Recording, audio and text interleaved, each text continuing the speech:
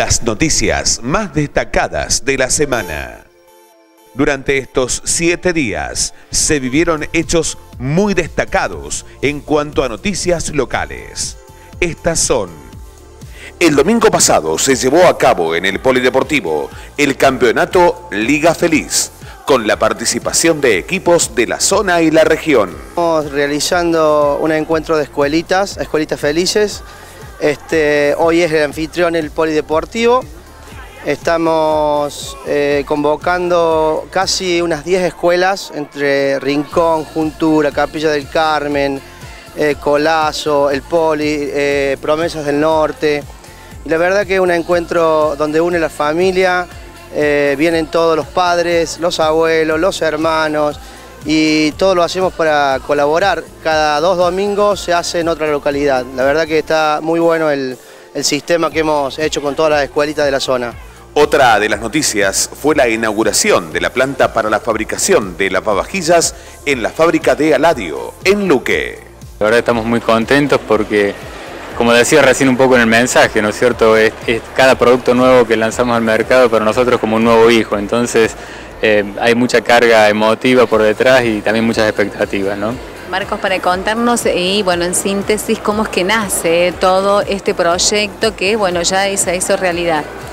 Sí, este, siempre, bueno, en las discusiones internamente nos consultábamos, nos preguntábamos qué nuevo producto podíamos desarrollar y bueno, veíamos en la vajilla una oportunidad de incorporar un producto afín con los productos que estamos fabricando porque estamos siempre dentro del lavado, en este caso ahora de vajilla, y eh, viendo el, potencial que tiene nuestra marca asociada con, los productos de lavado, consideramos que era, era la oportunidad de lanzarse en este desafío de generar una nueva fábrica y ahora también desarrollar el mercado, que es algo, una tarea no menor que viene por delante, que es hacer de que los argentinos tengan la intención de comprar un lavavajillas.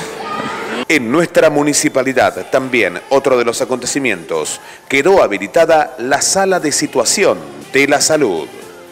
Eh, realmente estamos muy, muy, muy gratificados, tanto a nivel provincial como nacional, porque hoy es la decimoprimer sala de situación de la provincia de Córdoba. En realidad el objetivo, digamos, eh, primordial es la salud de la comunidad. Eh, pero ¿por qué una sala de situación a nivel municipal? En líneas generales, y si hacemos historia, las salas de situación de salud se encontraban en la provincia y en la nación, pero no en los municipios. Y en realidad, la necesidad, porque toda la problemática y la resolución de la problemática pasa por los municipios, desde el programa y desde el Ministerio de Salud de Nación, se pensaron eh, este, cuando se armó el programa que la necesidad de una sala de situación era súper importante para poder conocer la problemática real de cada comunidad. También en el marco del Día de Lucha contra el Tráfico de Drogas, el Grupo Adicciones y parte de la Junta de Participación Ciudadana hablaron con 2N de los planes para concientizar con campañas intensivas. No queríamos estar ausentes del taller de adicciones con la conmemoración de esta fecha tan importante. Bueno, Patricia, una fecha que fue incorporada por la ONU. Sí, la fecha fue incorporada por la Asamblea General de la ONU el 7 de diciembre de 1987 para que todos los 26 de junio se conmemore la lucha contra el uso indebido de drogas y el tráfico ilícito de drogas. Eh, la ONU establece todos los años distintos temas para trabajar con respecto al tema del uso indebido de drogas. Este año el tema establecido eh, es el que la, drogadicción es prevenible y tratable. Son los dos temas a, considerar y a, trabajar. Eh, por eso ellos instan a que desde todos los lugares y de todos los países puedan trabajar eh, a favor de la salud y con un no eh, en mayúscula a las drogas y, pensar que donde hay ayuda hay esperanza. Ese es el mensaje que un poco estos organismos eh, que se reúnen y bueno, establecen como normas para trabajar. Otra de las noticias destacadas de la semana fue la participación del Instituto Especial Visa del Rosario en actividades recreativas de todos los viernes. Sí, la verdad que es una experiencia muy interesante. Cuando comenzamos a trabajar, comenzamos a trabajar solo, trabajábamos mediodía los dos primeros años. Y este es el segundo año que trabajamos, que pusimos la jornada completa porque, bueno, la verdad que nos dio buenos resultados. Hay algo que nosotros tenemos que aclarar con respecto a la implementación de este proyecto y es los recursos económicos porque la verdad que sin esas ayudas sería imposible que nosotros pudiéramos estar realizando este proyecto. Esta propuesta fue, bueno, eh, un poco por idea del, del profesor y la institución apoyó esta idea y el acompañamiento para la realización también del proyecto.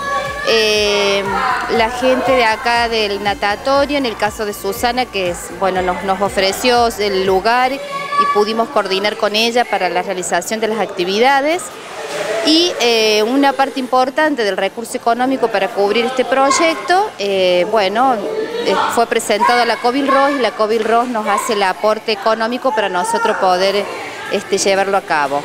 También, eh, como los niños tienen que salir de la institución y es una actividad fuera de la escuela, se requiere de, un seguro especial que se paga para los chicos, así que también se le pide la colaboración a los papás. Los papás también colaboran todos los meses con un aporte eh, eh, para poder solventar todos los gastos que lleva este proyecto. Así que bueno, la verdad que el recurso económico para nosotros en este momento es muy importante porque sin ese recurso de todos los años que hemos tenido hasta ahora, no lo podríamos estar realizando.